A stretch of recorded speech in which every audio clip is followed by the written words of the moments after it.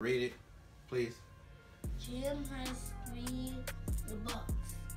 If he finds some more, he now has ten. How many did he find? Outstanding.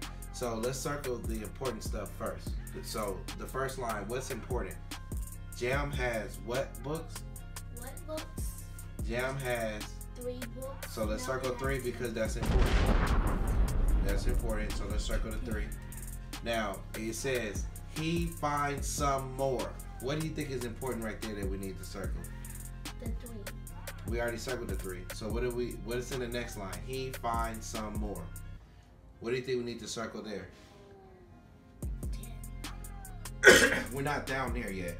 So remember, whenever it said he finds some more, that's important. Remember we did that from before?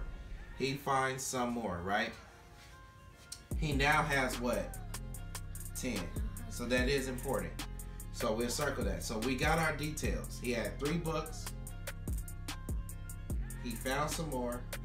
And now he has 10. So let's work it out.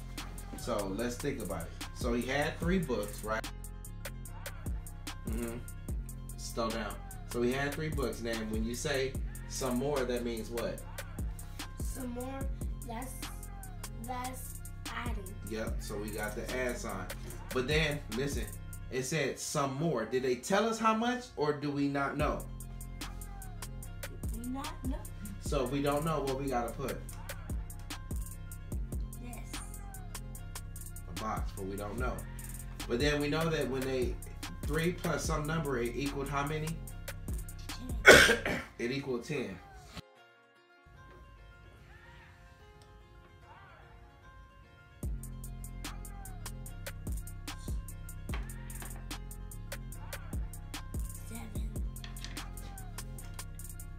Outstanding.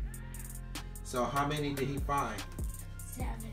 So he had three books. He found seven more, and now he has a total of ten.